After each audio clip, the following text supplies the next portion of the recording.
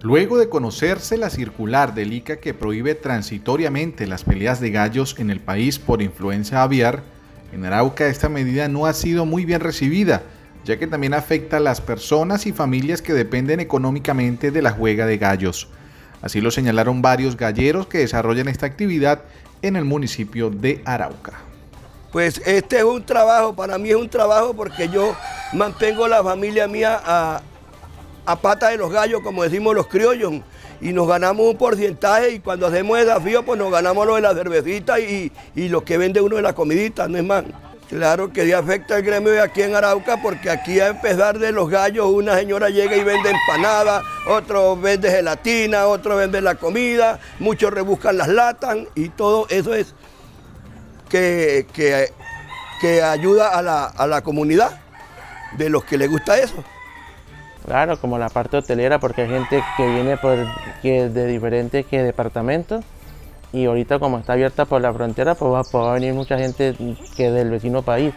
Entonces eso también afectaría a la parte que es turística y, y, hotelera del departamento. Sí quisiera yo exhortar a Lica que hiciera una mesa de trabajo conjunta con nosotros, los galleros, para encontrar medidas en que no afecten la economía de aquellas familias que son muchas familias araucanas las cuales viven de, esta economía informal, ¿sí? que lastimosamente es informal, pero bueno, no solamente dependen eh, aquellas personas de, de las peleas de gallos, sino la persona de que nos vende el maíz, la persona de que nos vende los insumos veterinarios como medicamentos, antibióticos, vitaminas, aquellas personas que nos venden las purinas para criar nuestros pollitos, para las gallinas. Es, una cadena de, economía que, no solo afecta a simplemente nosotros los que vamos y disfrutamos de este deporte en una exhibición sana, sino detrás de nosotros hay muchas familias, muchas eh, personas que dependen de esta actividad económica. A pesar de resultar afectados, consideran que dicha medida motivaría a otros galleros a vacunar a tiempo estas aves y evitar que la enfermedad pueda proliferar en el territorio. No, pues en verdad es que como hay tantas epidemias hoy en día que yo no las conocía, entonces pues yo no estoy en contra de él porque si esa epidemia dicen de que llega a los animales, pues es muy bueno ponerle eso, pero como nosotros vacunamos, pues no, no sabemos si, si es mm,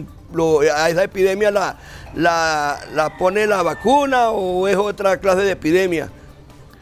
Por su parte, Narda Martínez, gerente seccional del ICA en Arauca, informó que dicha circular del orden nacional ordena a los alcaldes y gobernadores del país suspender de forma transitoria las peleas de gallo con el objetivo de contener los riesgos de contagios por gripe aviar.